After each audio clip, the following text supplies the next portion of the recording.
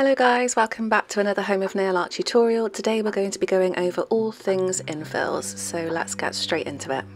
All of my prep today is going to be using an e-file. I have gone into depth on how to use manual prep tools and this is all on the application tutorial that you can find on Home of Nail Art website. So the first step in the infill process is removing any gel polish and a lot of the bulk of the builder as well. So I'm using a barrel bit to do this and I'm going to remove most of the apex because the nail needs to be restructured. Where the nail has grown in around sort of four, four and a half weeks, that apex has moved further down and the nail's no longer balanced. So I'm removing a lot of the apex but still keeping most of the builder on the nail. We've spoken about balance before in previous videos, so when I'm talking about balance, I mean the structure of the nail. It needs to be thinnest at the cuticle, thickest at the apex, and thin again at the free edge. So after around three to four weeks of growth, the nail's no longer balanced, the heavier end is towards the free edge. That's going to be putting extra pressure on the nails that will cause breakages and potentially discomfort for the client as well, which is why we debulk the apex so that we can rebalance the nail to make sure that the stretch is effective and comfortable for the client. All of this can also be done with a manual file. I just find it a little bit quicker and easier to use an e-file. Please, please only do this if you are qualified and trained to do so because it can be dangerous or harmful if you aren't trained in effectively using an e-file. This can all be done with a manual file and as I said before, you can see this process on the previous application video. Another reason that we debulk before we go in with any cuticle tools is so that the tool can sit flush against the nail plate. We don't want to be coming in at an angle which can potentially damage the client's nail and hurt them. So I'm using a cuticle bit from the centre of the nail all the way down the left hand side and this will lift the cuticle away from the nail plate and then once I've done all the fingers to the left hand side I can start from the centre and go down the right hand side as well. This process is essentially the same as using a cuticle pusher, so I'm just lifting away that cuticle to create a little bit more space on the nail plate and also so we can get in there to remove any non-living tissue that's riding on the nail plate as well. Now that the cuticles are lifted, I'm just going in with a cuticle barrel bit, which is similar to our other barrel bit, but a finer grit, and that will exfoliate any of the surrounding skin.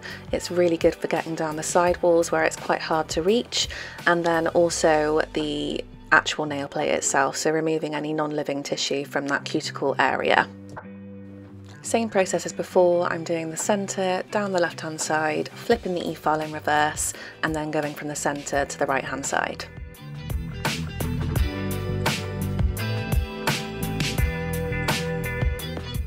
It's now time to go in with our nippers, so I'm just removing any non-living tissue. Again, we can differentiate between living and non-living because non-living is normally lighter in colour and quite clearly dry. So you don't need to nip on every single nail and you need to be careful not to nip away at the eponychium because that's in place to protect our clients from infection. And then I'm just going in with an e-file just to remove a little bit of length as well for the client.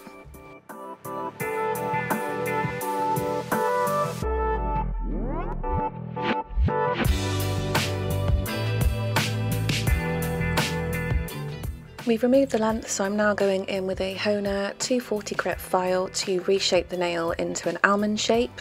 So I'm just moving from the left hand side first towards the centre and then the right hand towards the centre of the nail at the free edge and I'm just going to continue this process until I've got the desired shape. We use a 240 grit file just because it is a softer grit and that means you're not going to be at risk of damaging the client's natural nail. So where the build is a little bit thinner at the free edge, we don't want to be using a rough grit because it might cause splits or damage. A 240 grit is perfectly suffice to file and reshape the nail.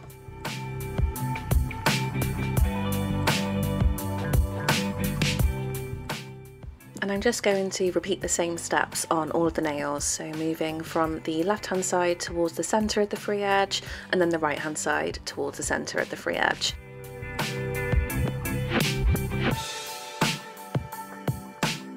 You might notice as well when your client comes in for an infill that their nails look a little bit wider where they've grown out.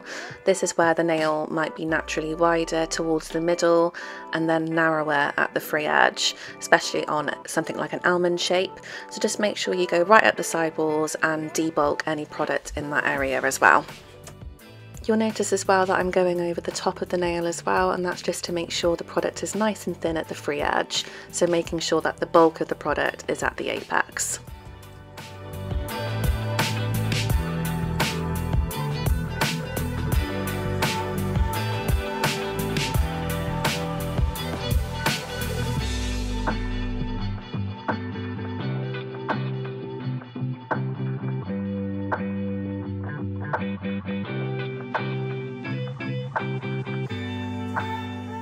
Sometimes after filing you might notice a little hangnail so I always make sure to get my nippers and remove this and this just reduces any temptation to nibble or pull and then I'm going in with 100% pure acetone on a lint free wipe just to dehydrate the nails before we go in with our sanding bands and file the new growth.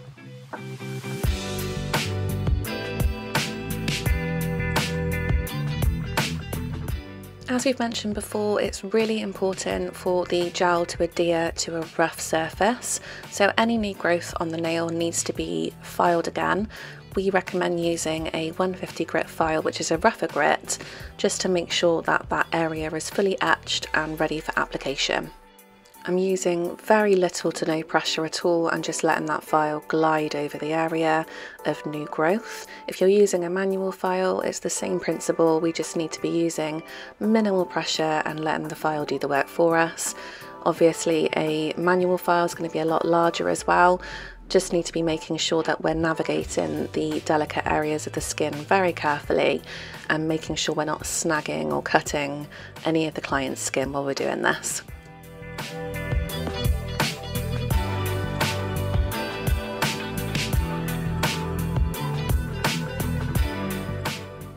I am also filing over the builder itself. I find that if my base or my existing builder is as perfect as possible, then my application on top of that with the infill is going to be so so much easier so if you've got any lumps or bumps or shaping to do do it in this stage and then your builder is going to go on so much smoother and so much easier and you're not going to have to do any refining afterwards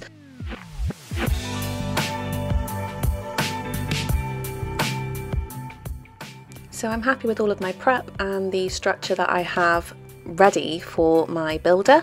So I'm now going in with a small amount of complete base on my brush, popping that sort of towards the centre of the new growth, pushing it up towards the cuticle and then covering the whole nail plate, not forgetting to cap the free edge as well. So I'm just going to repeat the same step on all of my nails and pop that into the lamp to cure for 60 seconds. All of the curing times in this video and all of our application videos are based on the Hona cordless cube lamp. Yours may differ if you have a slightly different lamp.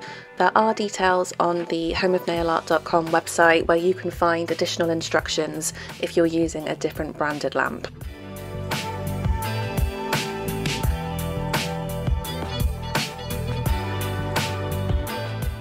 We have spoken about the paper layer of Builder before, which is a very thin layer of Pure Build that we apply to all of the nails and cure in the lamp for 60 seconds, and this helps with adhesion. We're going to do exactly the same thing on an infill, so I'm applying a very thin layer of Pure Build to all of the nails, and then I'm going to pop that in the lamp to cure for 60 seconds before we go in with our structure layer.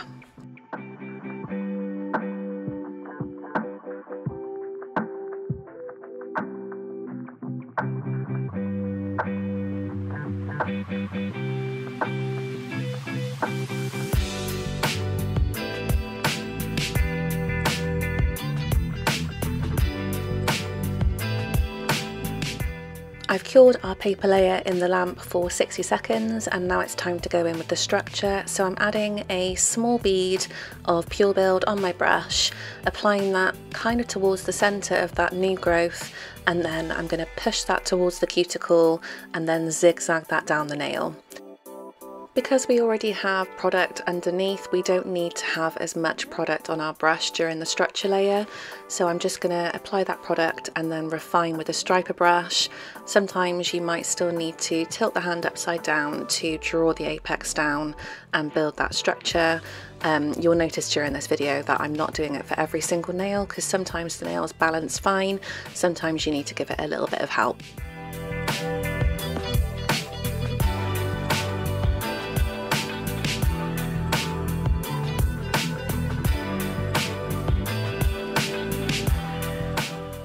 Remember as well that when we're using Pure Build or any builders, it's a good idea to cure in between each fingernail. So I flash cure for 30 seconds in between each nail to stop the builder from moving around so that I can focus on the next nail and make sure I perfect that structure.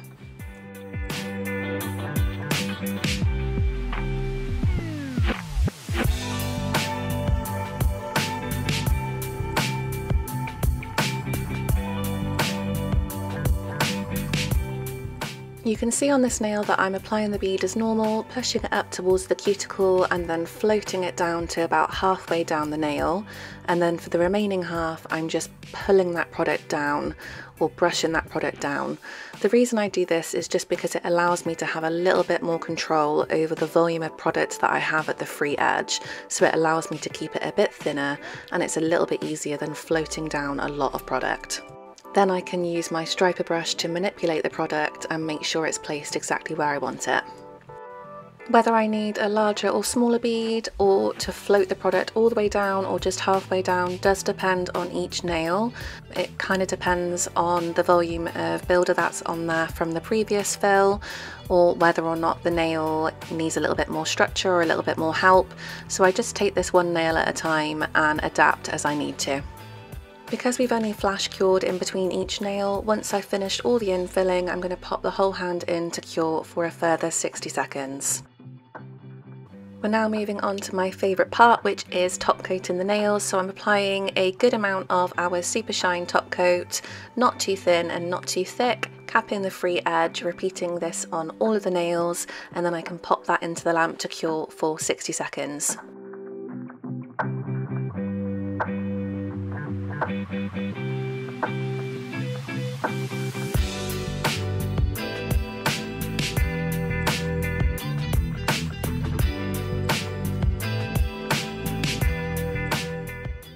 And this is the final look of our Pure Build cotton infill. I really hope you enjoyed this tutorial. Thank you so much for watching.